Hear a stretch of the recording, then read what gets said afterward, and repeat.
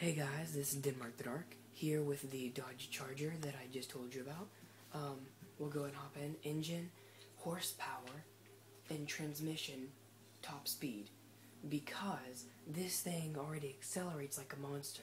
And not only is it a drifter, but this thing can reach some pretty high top speeds too.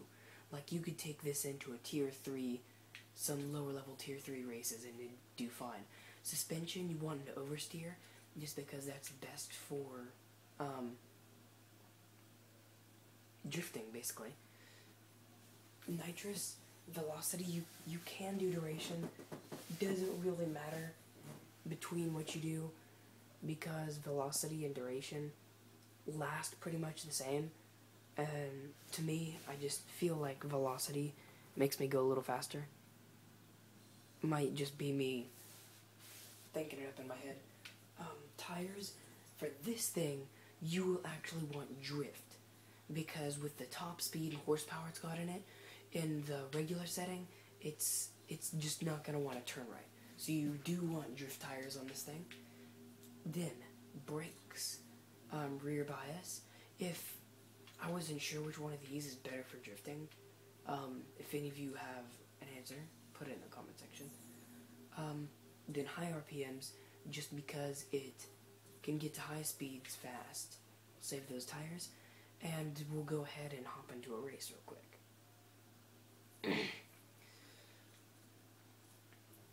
um, you guys can make requests in the comment section if there's a car in this game that you want me to make a video of because I have every car in this game unlocked.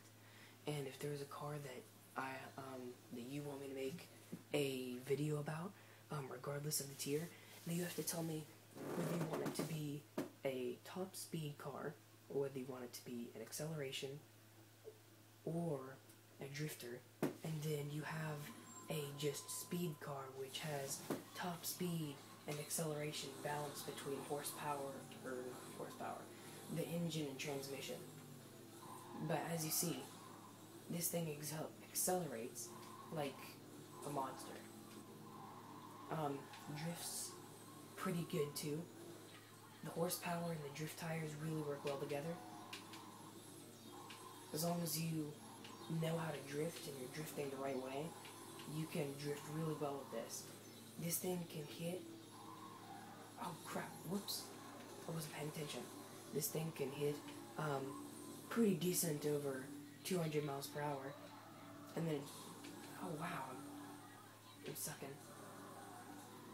But as you see, that's a gnarly drifting, but it can hit 200 pretty quick, and then it can hit a pretty speed over 200.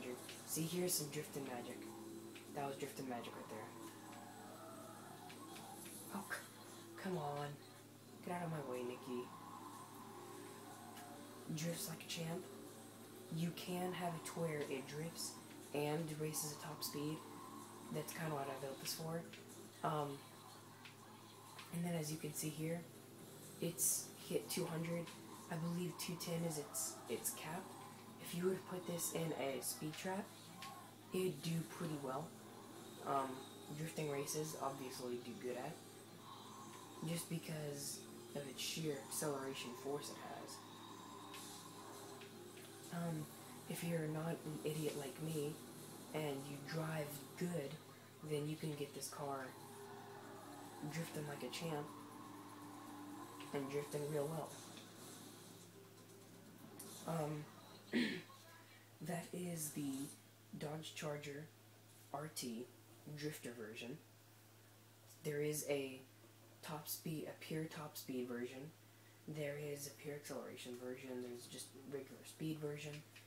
But there's my top speed version.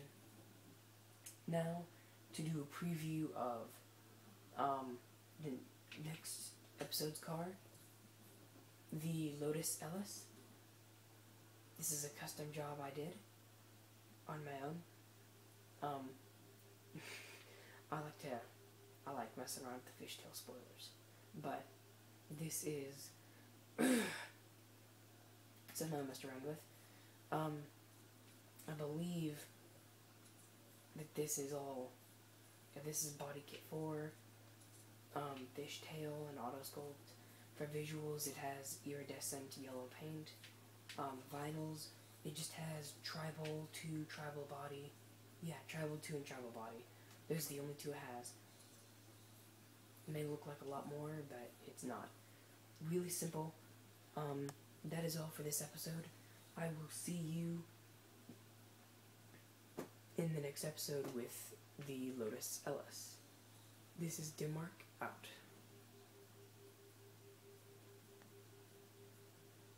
Come on, hit stop.